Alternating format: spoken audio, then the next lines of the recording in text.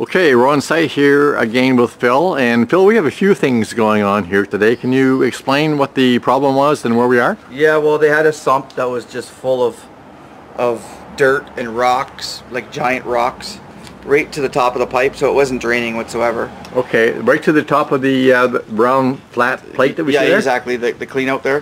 The- The, back valve there, yeah. Okay. It was, it was just stuffed. And then over here, they couldn't get the excavator uh, underneath the stairs to connect the pipe on the other side of the drainage, Okay, which we can show you right now. okay, so let's walk over and see what you've done now. I guess everything you have done here today, you have done with your truck, the Yeah, vacuum vacuum, truck. Is yeah. that correct? Yep. Okay, so I'm just going to follow you here, Phil. Okay.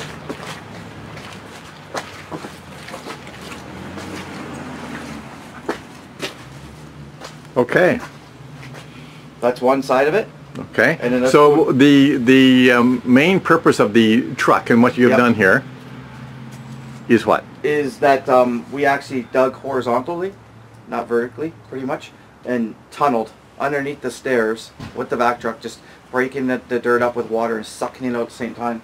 And I went 10 feet that way, underneath the stairs, and then we can, opened up that side, the piece of pipe from the other side of the drainage was there, and we connected, and then boom. Okay, so what did that mean to the owner of the home? Well, it saved them tons of money because don't forget this is a supporting wall here. There's a footing here um, that's supporting this this whole top part. The stairs would have had to come out. We're, we're talking, I bet you, anywhere from twenty twenty five thousand when it was all said and done. Okay, so with the truck, you were able to dig underneath Yep, and uh, get the job done so everybody's happy. yep. And we'll show Okay. you the other side.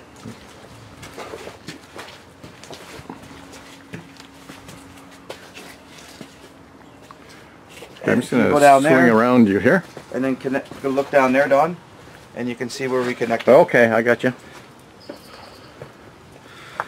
Right there. Bada boom, bada bing. Wow. So one side to the other. Yep. Bob's your uncle. Bob's your uncle. Okay. Phil, thank you very much for your time. Thanks, Don.